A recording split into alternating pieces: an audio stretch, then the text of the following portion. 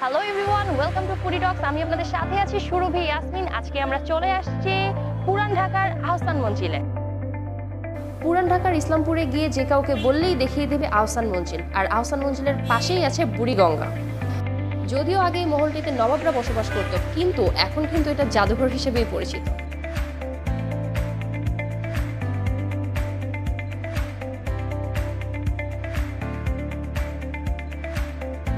আহসান মঞ্জিলের প্রতিষ্ঠাতা নবাব আব্দুল গনি হলেও নামকরণ করা হয়েছে তার ছেলের নামে, যার নাম ছিল খাজা আহসানুল্লাহ।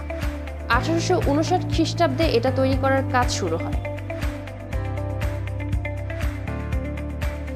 ছুটির দিনগুলোতে এখানে বেশ ভিড় থাকে, অনেকেই এখানে ফ্যামিলি নিয়েও ঘুরতে আসে।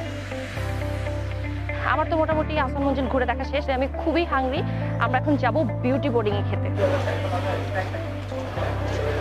আমরা এখন চলে আসছি বিউটি বোর্ডিং এ। আপনাদের বলেছিলাম, এইটা বিউটি বোর্ডিংটা হচ্ছে বাংলা বাজারে।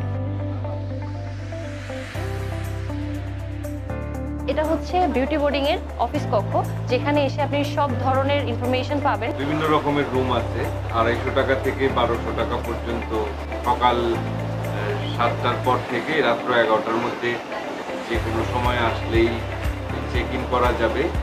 চেক আউট টাইম আমাদের পরের দিন দুপুরে একটা পর্যন্ত। থাকার জন্য অবশ্যই ন্যাশনাল আইডি পাসপোর্ট বা বার্থ সার্টিফিকেট বা ড্রাইভিং লাইসেন্স এই জাতীয় একটা জাতীয় পরিচয়পত্র অবশ্যই লাগে। এখানে একটা খাবারের ঘর আছে আমরা এখন ওখানে লাঞ্চ করব। চলা আমাদের।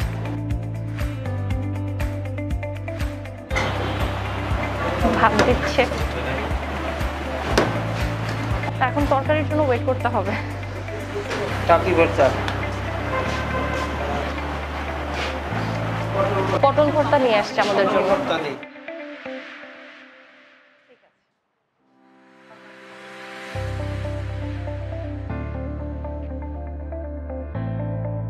আমার তো ডিফারেন্ট ডিফারেন্ট ভর্তা আর মুরগি দিয়ে লাঞ্চ করা শেষ।